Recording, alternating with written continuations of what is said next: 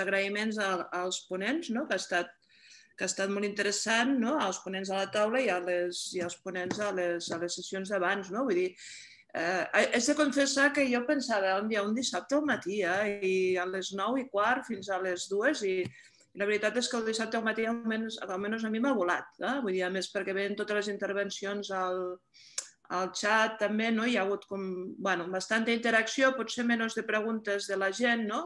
Però, però crec que pel xat sí que s'ha portat molt. No? I aleshores, bueno, doncs això, aquí de, eh, aquesta ha sigut la, la celebració per part de la Societat Catalana de Matemàtiques una mica del Dia Internacional de les Matemàtiques i bueno, jo us animo a tots els participants no? la, la idea aquesta d'aquesta celebració no? per part de, promocionada per això per la, per la Unió Matemàtica Internacional, és que sigui una, una excusa per fer una festa de les matemàtiques a tots els nivells. O sigui que, no sé, us animo a, a fer a, a fer-ho, no? Si esteu treballant en alguna escola o institut, doncs, per exemple, doncs que, que s'organitzi alguna cosa, es menciona això d'aquí, no?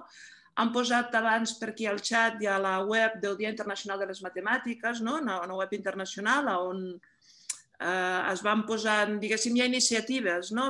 Aquest any hi havia, per exemple, feien un, un repte del pòster, no? d'enviar-los pòsters, però si feu una activitat que podeu apuntar-hi l'activitat no? i queda un mapa del món on es veuen, es fan diverses activitats no? i crec que, que des de la, la, la comunitat de per aquí no? està bé que ens, hi, que ens hi sumem no? i que fem, bueno, fem una mica, com, com deia la Marta, no? hem de fer una mica de lobby no? per fer-nos veure les matemàtiques no? I, i fer la difusió del que, del que estem fent.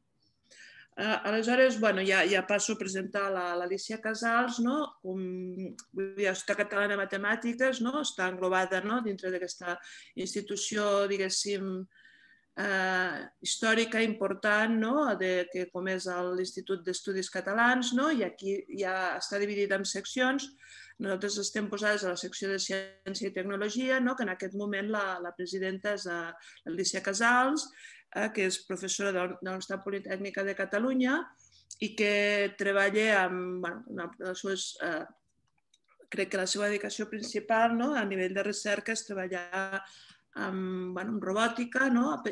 orientada cap a aplicacions mèdiques. Aleshores, Alicia, quan, quan vulguis, si et va bé. Molt bé moltes gràcies i aplicacions mèdiques amb molta matemàtica al darrere, eh? també, evidentment.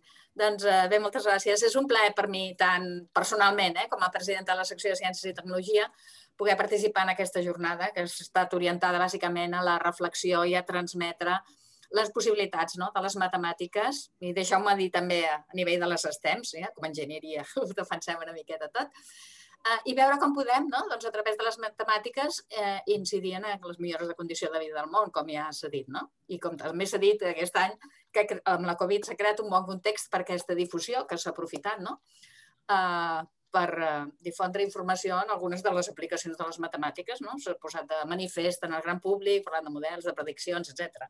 I avui, també, doncs, parlant de, de l'estudi del servei, de la planificació de la informació, en un moment actualment que ens preocupa tant no? la privacitat de les dades i el seu ús, de com la informació és poder, de com s'estudien sistemes complexos o debatre per un món millor, de fet jo crec que és altament enriquidor. Uh, I també és important que fem arribar aquestes uh, visions a la comunitat no? educativa i a la societat en general. És una tasca molt útil realment que cal fomentar i hem de tenir la capacitat de fomentar-ne. No? Uh, I com deies, estem en el marc de l'Institut d'Estudis Catalans, que és una plataforma molt bona per a fer-ho, no? que està no, no lligat a cap universitat, és una mica uh, aquesta entitat més àmplia que ho engloba totes les ciències i humanitats. No? Bé, per acabar, vull, vull agrair la Societat Catalana de Matemàtiques que fa una, una activitat molt intensa no? i que contribueix amb aquesta tasca a transmetre coneixement i despertar l'interès, eh? en concret en aquest cas, per les matemàtiques. No? També volia, sense contradir la definició d'Antoni, amb què m'estic d'acord i m'ha agradat, eh? Um, jo sempre diria, o el que penso és que hi ha els apassionats no? de les matemàtiques i, per altra banda, hi ha les persones que tenen pànic a les matemàtiques, no? que vista com és la, la matèria uh, difícil per aprendre. No? Quan es veuen les matemàtiques sense una visió de què serveixen, si no hi tens facilitat, doncs, uh, doncs més aviat crea rebuig. No? Però veient l'aplicabilitat, no? i per tant, si podem associar aquest contingut matemàtic que s'explica a cada a alguna aplicació, segur que l'interès creix. Eh? Per tant, és un repte en el camp, en el món de l'educació, eh, i per tant, eh, és eh, importantíssim tenir exemples, no? I, i una mica la missió d'una jornada com avui no? és, és generar material doncs, perquè tot el professorat, sobretot de, de secundària, que ha de motivar els nous estudiants i els nous professionals del futur, doncs que, que tinguin les matemàtiques com alguna cosa d'interès eh? i per tant la faran amb més, amb més carinyo i amb més interès per, per treballar-hi, no? I com el lema d'avui, per contribuir a la qualitat de vida del món. Bé, per la nostra part, des del món científic i tècnic hem de contribuir a avançar i difondre eh, en el camp de la SESTEM en general tot, no? I, i ho seguirem fent. I esperem que, que aquesta intel·ligència humana eh, en el món desenvolupat i en l'ús de les STEMs encarrili el món cap a potenciar aquesta millora global, eh? no creant diferències ja siguin territorials o locals, sinó que realment serveixi per tothom, que és realment quan ens ha de beneficiar a tots i millor, no? Perquè si només beneficia una part, eh, a la llarga aquesta part també se'n sentirà.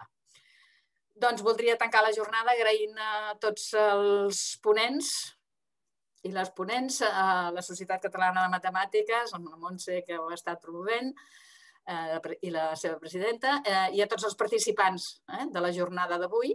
I espero que entre tots puguem eh, treure, ja si està a YouTube, no? doncs transmetre-ho i, i difondre-ho eh, per propagar una mica aquest esperit no? al món a través de les matemàtiques i les STEM.